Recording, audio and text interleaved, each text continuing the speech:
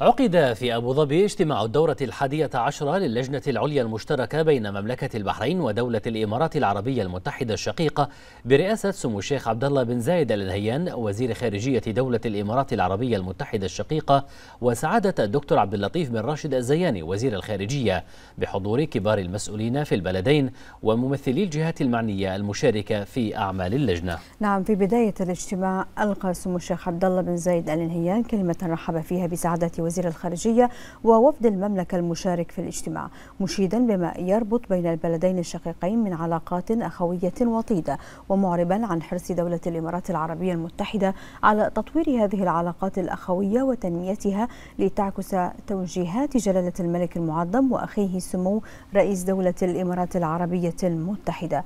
وأكد سموه على أهمية البحث عن كافة الفرص لتعزيز العلاقات وتوثيقها مشيرا إلى عمق العلاقات التاريخية الممتدة لقرون بين العائلتين الكريمتين والخليفة والهيان مؤكدا ضرورة الاستفادة من الفرص المتاحة لتوطيد علاقات التعاون الاقتصادي والاستثماري والثقافي والاجتماعي. عبر سعادة وزير الخارجية عن تهانيه لاستضافة دولة الإمارات العربية المتحدة الشقيقة لمؤتمر كوب 28 بشأن تغير المناخ المزمع عقده في نوفمبر الجاري.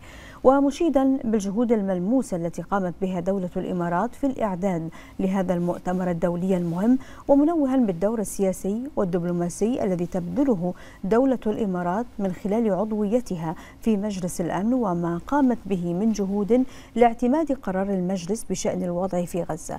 أشاد سعادة وزير الخارجية بالدور الفاعل الذي تقوم به اللجنة العليا المشتركة لتعزيز العلاقات الأخوية على كافة الأصعدة والمستويات كما أشاد سعادة وزير الخارجية بالتعاون والتنسيق السياسي والدبلوماسي بين البلدين تجاه القضايا والتحديات الإقليمية والدولية.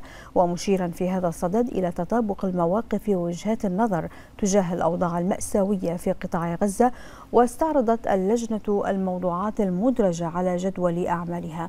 وبحثت ما تم تحقيقه من منجزات إيجابية في مجالات التعاون المشترك. كما تدارست المشاريع والبرامج المقرر تنفيذها لتوطيد التعاون الثنائي على مختلف المستويات. ثم جرى التوقيع على عدد من مذكرات التفاهم المشتركة للتعاون بين البلدين في مجالات الطاقة المتجددة والثورة الصناعية والموارد البشرية في الخدمة المدنية والتأهيل والتدريب المهني والتعليم الجامعي. وفي الختام قام سمو الشيخ عبد الله بن زايد ال نهيان وسعادة الدكتور عبد اللطيف بن راشد الزياني بالتوقيع على محضر اجتماع الدورة الحادية عشر للجنة المشتركة.